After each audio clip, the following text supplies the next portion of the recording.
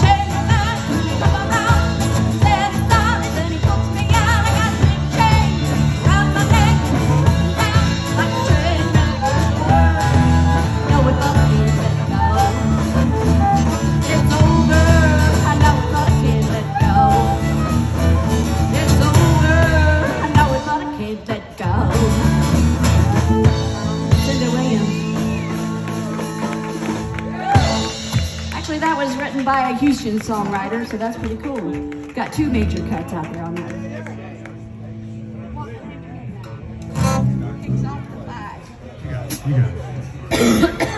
Oh, hello. Good morning.